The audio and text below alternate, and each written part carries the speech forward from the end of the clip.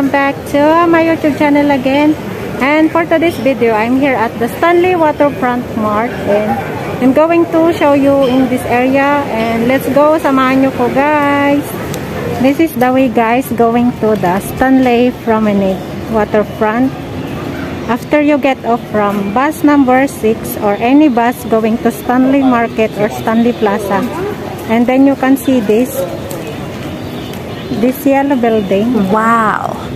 Ayan yung way. Ayan guys. Ayan yung Stanley. Promenade. Waterfront. Ayan. This is the this is the Stanley Waterfront Mart guys. Ayan. Dito tayo mag-start mag-walk. And then when you walk in this area, you can see this pretty gamamela or hibiscus. Ayan. Ang ganda. Nag-bloom na siya. Ayan. Ang ganda ng mga flowers, guys. Ayan. And the color is so pretty. I like this color. It's yellow, orange yan. Ito yung maganda, guys. Oh, ang ganda. Yung ano siya, red orange. Single lang siya, pero ang ganda. Ayan. Ang ganda, guys. Ang ganda ng bulaklak. And then, meron pa dito sa kabila. Ayan. Ito yung look niya dito, guys. Ayan. Ito naman is red. Ayan. Ito, yung ang laki, ang laki ng flower. Ayan oh, pinakamalaki. Wow! Ganda. Ito yung Stanley Waterfront from uh, Mart or Promenade, guys. Ayan. Dito siya. Ayan, guys. And in this area, guys, may mga kainan din. And, ayan.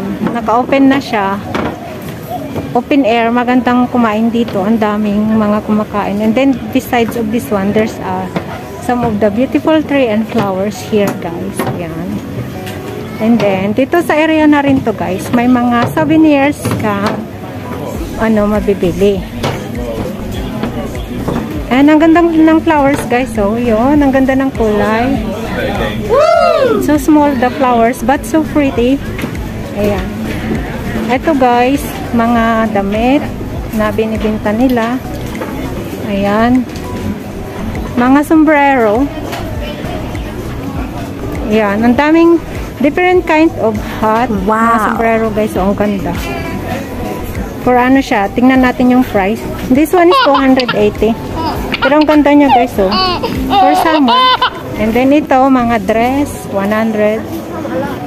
And then ito yung maganda guys. Pang summer dress is only 100 beach area. Ano pang beach siya yung parang momo dress. Ito rin. Yan. May mga kainan din dito guys. Mga, yan. Pwede kang kumain dito. Yon may dog dun. Kasama ng amon na tapos ang ganda ng dress na to guys. Ang ganda ng kulay. Ang lamig sa mata. Yan 289 siya. For ayun ganda. Ito guys. Damit and so may dream catcher din sila sa. Yan. Ang ganda. Ito is a Gerape. Yan. This sell this one. Yan. Tatlong Gerape. din may mga bag. Pala bag. Yan. Ganda for summer. Ito mga bracelet din siya guys. Yan. Nandito sa area na to. Guys, dito. Yung seaside. And yun, ito. Pungsko, mga Chinese traditional cellstone. Yan. Mga Chinese traditional cellstone, tsaka mga frame. Ayan. Chinese rainbow calligraphy. Ayun. Calligraphy to. Wow. Chinese shop. Stamp engraved yan mga kaligrafiyan kaligrafiya yun oh may pangalan Andre no photo daw. And then ito naman guys is traditional siltstone yan. Pag bibili ka guys pwede nilang i iukit yung pangalan mo dyan sa mga bato na yan. Na Chinese ayan oh mga zodiac sign ata yan. Chinese zodiac sign oh. Ayan. Ang ganda. Parang made of ivory siya pero hindi naman ata ivory. Ayan. Ito oh no photo daw. So, hindi natin, hindi siya pwedeng mag-photo. Ang ganda ng frame na yan guys. Oh, napaka-colorful. Hindi ko alam kung ano yung meaning niyan kasi naka-Chinese. And then, eh, ay, yung, yung guy, guys, oh, nagka-crab siya, oh. Ang galing niya, oh. Yun. Nagka-crab siya. Ayun. Ang ganda, guys, oh. Yan. Dito sa baba naman, mga dog. Yan. Display. And ito yung area niya dito guys. So, pwede kang umupo dito, kumain, tumambay. Kaso mainit nga lang today. Yan. And ang ganda ng area nito guys kasi may mga halaman. Ayan. And yung mga ibang shop guys is naka-close. Kasi dahil na rin sa pandemic kaya nako-close sila. Ayan. Ito may tennis court dyan, no? Ito yung view niya dito, guys. Ayan, guys. I'm still here at the Stanley uh, Promenade Waterfront. Ayan. Maglalakad lang ako doon sa may breakwater. Ayan, guys. Ito yung ma makikita mong view sa likuran ko. Ayan. Mainit siya, guys. Ang gandang mag-walk. Mainit siya. So, lucky, we have the sombrero. Ayan. Ito yung beautiful view niya, guys. Ayan. Here, makikita mo pa rin yung Muray House tsaka yung Blake here. Yung tao pumupunta doon, guys. So, they bring their kids here. Ayan. Ayan, yan yung Stanley Promenade. Wow! From dito na tayo sa may Stanley Promenade. Andon tayo kanina sa may Stanley Main Street. And that is the Moray House, the Black Fair. Ayan. And punta tayo dun sa baba, guys. Ito yung area na to, guys. Doon naman sa area na yan, guys, is the Stanley Market na yan. Sa may area na yan. So, baba tayo dito sa may breakwater yung mga malalaking bato ito yung one of attraction here guys na pinupuntahan ng mga tao. Dito sila nagpipicture or relax. Ayun. Nagpapasunbathing. Ayan. And ito yung area na to guys. Lutad siya, lutay yata ngayon. Walang masyad. Yung tubig hindi umabot dito sa may sa may banda rito. Ayan Oh, yun. Ito lang yung tubig guys. So, yun. Dito siya. Ayan. Pero malalim din siya guys. Dito, yun. And, okay, punta tayo dito guys. Sa may malaking bato. Ayan. Ito yung lugar na hindi ka magsasawang balik-balikan mo talaga. Ito. Ito yun guys. Madaming mga tao na nandito. Ayun, nag, gandang nagtik ng picture dito. Ang galing, no? Ayan. Ang galing ng area na to. Yung stone, ay yung rock. Ayan, ang ganda guys. From here, ayan. Ito. Pwede kang pumunta dito guys. Ayun.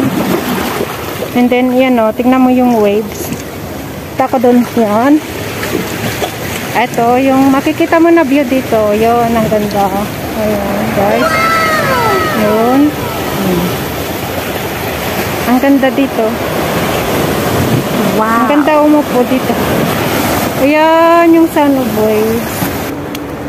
Ayun guys, andito ako sa may malalaking bato dito sa may Stanley Promenade guys. So yun. And at may back, makikita mo yung beautiful view ng ocean. Tsaka maririnig mo yung sound of waves. Ayan. Ayun, sumasampa na siya dito guys. So, ang gandang ano, nakaka-relax siyang pumunta dito. Ito yung lugar guys na kahit bumalik-balik ka, hindi siya nakakasawa kasi nga, yung view pa lang siya guys, nakaka-relax na. And then, it's not crowded because uh, it's far away from the city guys. And then at your, at my back, yan, mga residential area na yan. Ito, mga residential area na dito sa likod ko, guys. Ayan. and then mga mountain yon. Ito yung view niya dito guys. So, ang ganda pumunta. Uh, this is my second time to come here. Ayan. Ayan. Ito yung beautiful view dito guys. Oh. Wow! Ang ganda ng waves guys. Ayun. See? Ito, yung view niya dito. Ang ganda. Ayan. Ewan ko kung ano yung nasa ano niyan, gilid niyan. Mga oyster ata. Kumakapit sa bato. Yun. Ang dami oh. Ayan, guys. So, punta tayo dun sa may taas doon. Check natin kung ano yung view dun sa taas na yun, guys. So, but, uh, we need to walk from there. Ayan. Ayan, guys. Balik na tayo doon. Tapos na akong nag-take ng video doon. And, punta naman ako dito sa may kabilang side. Ayan. Ayan, this is the view from here. Ayan, dati, pumunta ako dito. May picture na ako dati dito. Ayan. Ay, Ayan, ito yung pinakataas niya, guys. Ayan. Ayan, ito yung view dito. Yun. May mga naliligo. Ang ganda ng tubig guys. As in blue na blue siya. Ayan.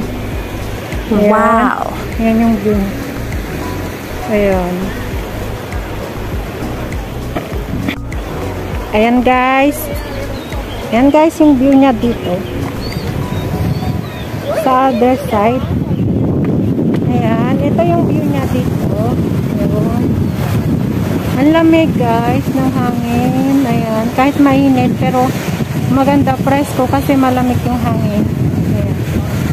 and then you can hear the sound of waves. Ayan.